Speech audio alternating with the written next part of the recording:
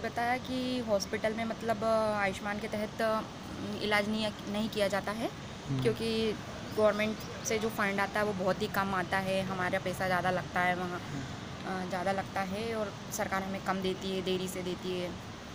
और हमारी काफ़ी रिक्वेस्ट और करने के बाद भी उन्होंने ये चाल मतलब ये योजना का लाभ हमें दिया नहीं और हमारे साथ साथ बहुत सारे लोग हैं जो परेशान हो रहे हैं उनको भी नहीं दिया है। कौन कौन लोग थे? क्या क्या बात हुई आपके उनसे? तो एक पेशेंट आए थे शायद गाइडर बाज़ार से और वो उनको सीटी स्कैन वगैरह करने का बोला है तो उन्होंने भी बोला था कि वो भी वेंटिलेटर पे उन्होंने भी बोला था कि आप मतलब हमारा ये कार्ड चालू करवा दीजिए आयुष्मान कार्ड लेकिन सभी को मना कर दिया गया है। और हमारा भी नहीं कर दिया और कल कल तक तो जैसे हमारे फादर की स्थिति अच्छी थी लेकिन कल जैसे ही हमने आयुष्मान के लिए प्रेशर बनाना चालू करा तो आज हमारे पापा को तो बिल्कुल ही उन्होंने ऐसा कर दिया कि वो कल तक तो आँख भी खोल रहे थे उन्होंने व्हील चेयर पर भी बिठाया था और आज सडनली सुबह से मतलब उनकी स्थिति इतनी गड़बड़ हो गई कि वो आँख भी नहीं खोल रहे हैं। तो कुल मिला के आयुष्मान योजना की हकीकत जो है वो गलत है। मतलब मोदी जी गरीबों को धोखा दे रहे हैं। मोदी जी तो बहुत विश्वास मोदी जी पे पूरी जनता विश्वास कर रही है कि मोदी जी ने ये योजना बनाई है।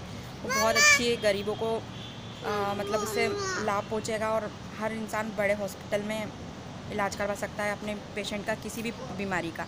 लेकिन यहाँ अस्पताल में आकर देखते हैं तो ये कौन हकीकत कौन कुछ और रहती कौन कौन मैडम यहाँ पे थी या ये सर थे जिनसे बात हुई आपकी और उन्होंने मना जो एमडी मैडम है पद्मा मिश्रा वो यहाँ की एमडी उन्होंने तो डायरेक्टली मना ही कर दिया कि हम नहीं करेंगे।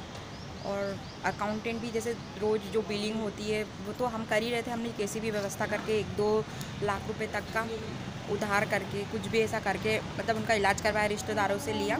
लेकिन अगर थोड़ी सी ये मदद और मिल जाती, शायद हमारे फादर के लिए हम और लंबी लड़ाई लड़ लेते तो हो सकता वो आज सही होते।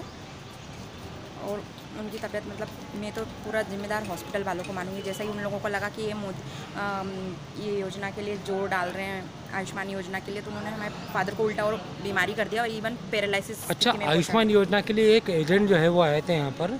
क्या हुआ और कितनी क्या हुआ था पूरा मामला? हमने हमारी एक क्या नाम था उनका? उनके थ्रू हमने बात करी थी।